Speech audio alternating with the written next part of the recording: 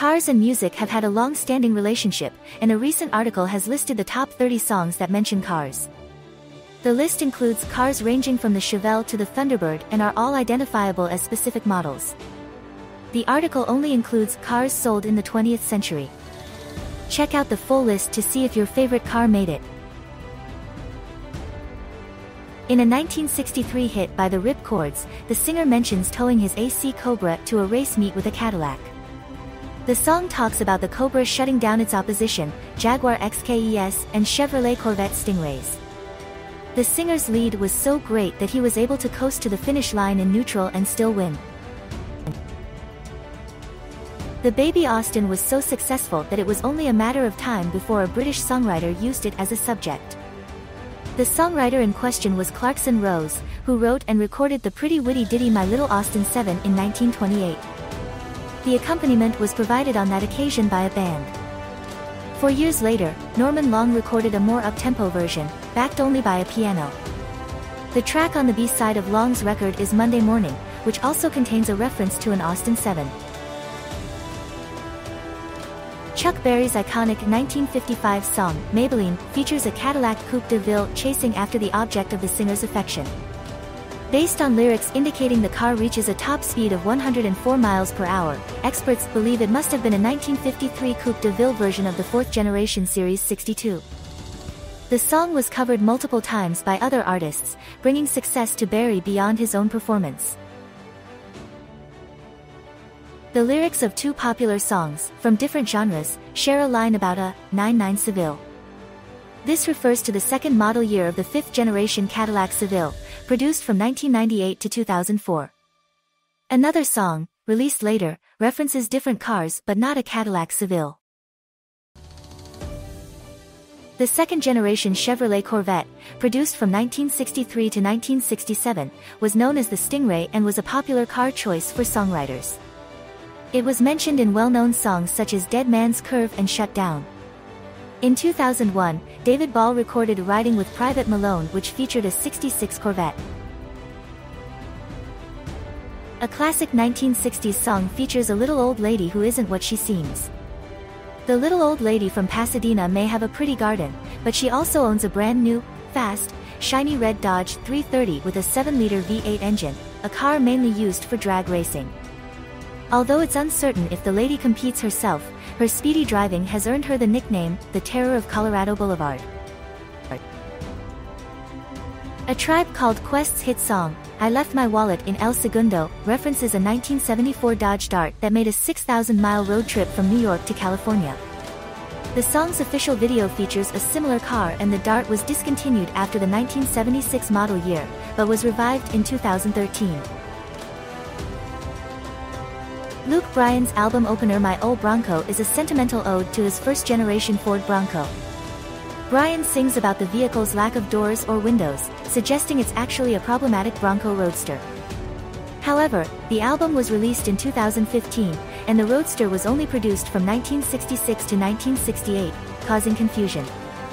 Possible explanations include a conversion or artistic license, but overall, fans can simply enjoy the nostalgic track without worrying too much about the details. The Beach Boys song, Little Deuce Coupe, references a 1932 Ford Coupe with a V8 engine known as the Model 18. The car also inspired the song's lyrics about a flathead mill. The updated 1933 and 1934 versions of the car were called Model 40, but still referred to as the 1932 Ford. Additionally, Deuce Coupe is the name of a ballet featuring Beach Boys music. Ford Model A and hot rod culture are now synonymous with American music. From Archie Shibley's 1950 Hot Road Race to Charlie Ryan's 1955 Hot Rod Lincoln, the Model A is a celebrated car of early hot rod culture. These songs depict the car in races against other hot rods with modified engines. Since then, Hot Rod Lincoln has been covered by many artists, including Johnny Bond, who made it into a hit. The Ford Model T has inspired modified versions known as T-Buckets or Bucket TS, featuring extensive customization and V8 engines.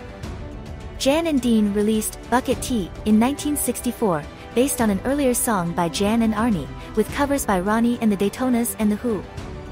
Though similar, each band added their own touch to instrumental solos. The Ford Mustang, first released in the 1960s, became an iconic symbol of American muscle cars.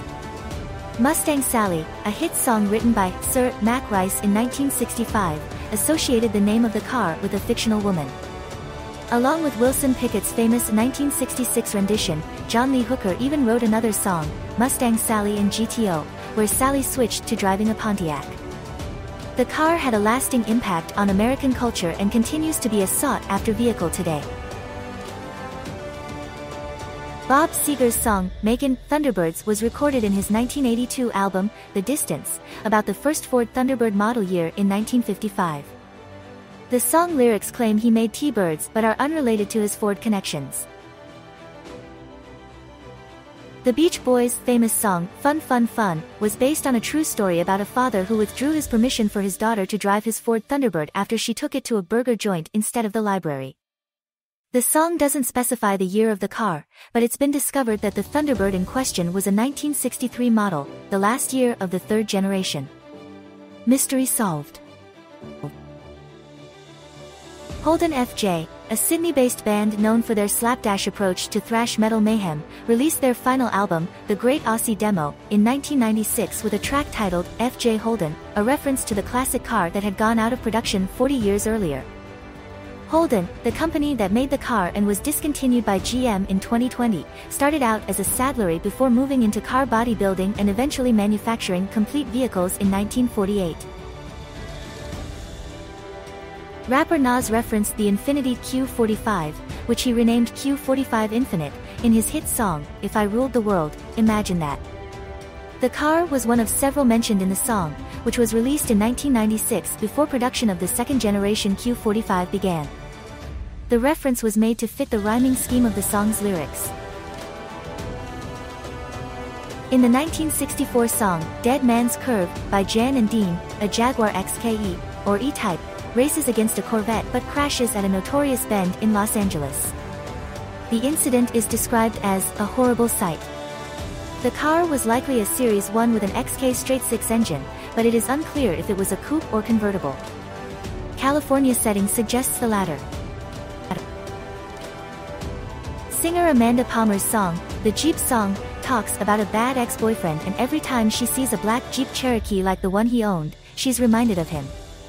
The song was released in 2003, but Palmer refers to the 1996 model specifically. Rock legend Marc Bolan referred to himself as a Jeepster in one of T. Rex's celebrated songs, with his girlfriend being described as a Jaguar. The song, released in 1971, features a motoring theme that disappears towards the end when Bolan refers to himself as a vampire. While the particular Jaguar model remains unidentified, it's suggested that Bolan was referring to the Jeepster Commando, launched in 1966, which was renamed Jeep Commando about the time the song hit the airwaves. Flanders and Swan's 1963 show, At the Drop of Another Hat, included the song Sounding Brass, where they competed by boasting their achievements and possessions. Swan claims he bought a Mini Super, to which Flanders replies that he has one in his boot, British Ford, trunk. The Mini Super refers to the Austin 7 Super and Morris Mini Minor Super, launched in 1961, and resembling the high-performance Cooper models. It was discontinued by the end of 1962, with the Mini Super Deluxe being a different product. In an emotional beat poem, Tim Minchin describes an encounter with a wealthy stockbroker who believes artists are richer than he is in a philosophical sense. Fueled by anger, Minchin finally explodes when the stockbroker compares his piano playing to Elton John's. In the end, Minchin bitterly refers to himself as a wealthy, wealthy man in a 1981 Mitsubishi Colt. A recent investigation by motoring researchers has caused despair and anguish as they attempt to identify the car referenced in Madness 1982 hit, I Like Driving in My Car. The lyrics describe a Morris built in 1959 and previously owned by the GPO, but further clues suggest it may actually be a van and not a car at all. The reference to a factory by the time is also confusing, as the Morris Minor was not built within 100 miles of either of the UK's two rivers with that name. In 1958, the Playmates recorded a song called Beep Beep, which describes a race between a Cadillac and a Nash Rambler. As the tempo increases, the cars go up to 120 miles per hour, but the Rambler is stuck in second gear. It's unclear if the Rambler in the song is the earlier, smaller model or the larger one still in production. The song may have led to a rise in Rambler sales but that's uncertain. The Oldsmobile 88 was built for 50 years across 10 generations. Known as the Rocket 88 due to its powerful 5-liter flathead V8 engine, it inspired the song, Rocket 88, by Jackie Brenston and his Delta Cats.